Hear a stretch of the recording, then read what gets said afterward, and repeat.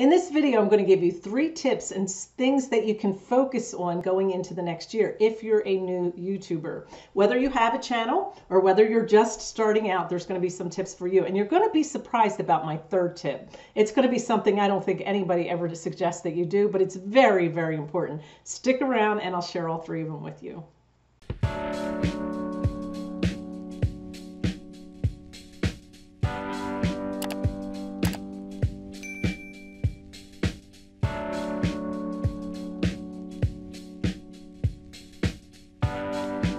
Tip number one, I want you to make a goal. Now, you might say, well, of course I'm going to make a goal, but it really depends on where you're at in your business. If you are a brand new YouTuber and you're not monetized yet, your goal is probably to get monetized. So focus on getting monetized as part of your goal. And if you're already monetized, then your goal should be financial. What can I do to increase my income?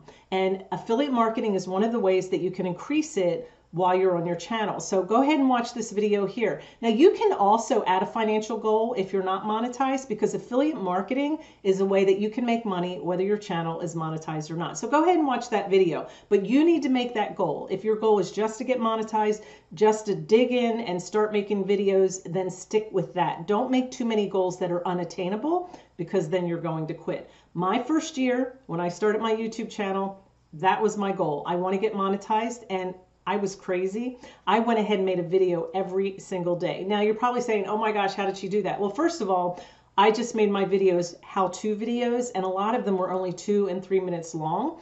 And amazingly, they're getting viewed and they're monetized and they're making money. But I don't suggest that if you are have a really tight schedule and you really want to make lengthier videos and you want to put more time into them. So that was me not knowing what I was doing and just digging in and trying to figure out if it was what I wanted to do. So make your goal. How many videos are you going to make? What does your schedule look like? Am I only going to focus on getting monetized or am I going to focus on um, an income? Now you might say, well, what do you mean focus on? Of course, we all want to make money. That's why we're all doing this. I have found if you tell yourself you want, make it a goal that you need a certain amount of money per month, then you can do some reverse engineering. If your goal is to bring in $1,000 a month, then and you want to run some ads or maybe you're just trying to bring them in organically, you've got to come up with a plan. What am I going to do to bring that in? Am I going to do affiliate marketing? Am I going to sell courses? What am I doing and how am I going to earn it? Again, that is your plan, but I want you to make sure you have a plan. And again, it can be very simple or more elaborate and put some details in there. But if you don't know what you're reaching for, then you're probably not going to reach it because you don't know where you're going. You've heard this before. If you're taking a trip, you need a map, right? You need to know where you're going and you need to know what to pack to get there and what you're going to do when you're there. It's kind of the same thing with your business. Make the plan for this new year. And that's what I love about the new year. I know everybody makes goals, but it's exciting because it is a new year and you get to plan it out. Number two is really important look at your schedule and realistically look at how much time do you have to dedicate to your business. Many of us have a lot of other things going on. You haven't quit your quit your full-time job yet, or maybe you're on furlough and you you do have time. But look at your life and include everybody else around you. Include your family, your children, your your responsibilities that you have outside of the home. And really look and see how much time do I have to dedicate and then write that down each day and make sure you do it. I know a lot of people have to work around their children and they're working late at night. If that's you, then write that down. But at the same time, don't sacrifice your health to do it. Make sure you put time in there for you. Make sure you're eating healthy, getting enough rest, and exercising because you'll burn out really fast. It's not worth your health to make this go faster. So just write it out. What does my life look at and look like and what time elements do I have? I have found when I tell myself, you have four hours today to work on your, your business, I will just shut that time apart, you know, set it aside and sit and work. And I tend to work better because I know I only have four hours. It's not like I have all day long and I can kind of um, take my time and not really focus. So a lot of times, those of you have short spurts of time probably are going to be more focused because you know that that time is really valuable. Here's a really quick example, a very easy way that you could keep up on your life. But get an Excel sheet out and put the hours along the side. You could even put the half hours, whatever your life looks like, and then just color code. If it's something for the kids where you have to run them somewhere, maybe you can put each child in a different color. Um, if it's time for you to be able to work, then you want to be able to highlight that a certain color. But it gives you a, a better view, a good visual of seeing when is it your time, when can you sit down, and when can you do your work. And you may not have as much time as I do. I don't have children at home, I'm not running them, but I do work. I do work full time, and I even take my lunch hour and I do something for my job while I'm eating.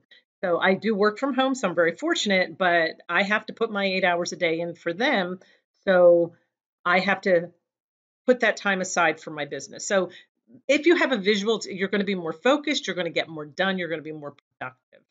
Again, this is an Excel sheet. It's just giving you a real quick example of how you can color code and help you see a visual of what your life looks like.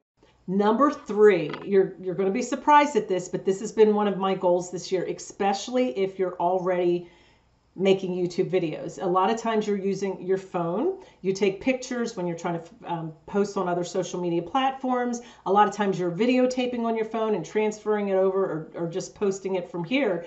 And how many of you are running out of space on your phone? I noticed that my phone was getting really full. So I sat down and I just started clearing things off my phone. And that's the third thing you need to do is just get that phone cleaned up. Especially if you take a lot of family photos or selfies, take them and move them to folders and get everything organized and get the phone as empty as you can. Because if you can use this phone all year and not have to keep worrying about, oh my gosh, I'm almost to the limit and I have to take some things off.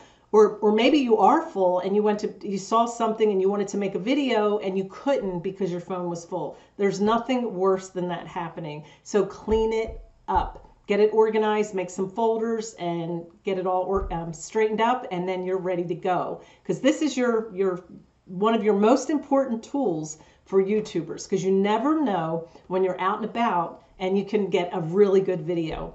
All right, that's what I have. Those are my three tips for you going into the new year, and do it. You've got them all written down. I've given them to you, and take some time to to make those different decisions going into next year, and you're going to find that you're going to be more profitable and more focused. Thank you for watching, and I will see you on the next video.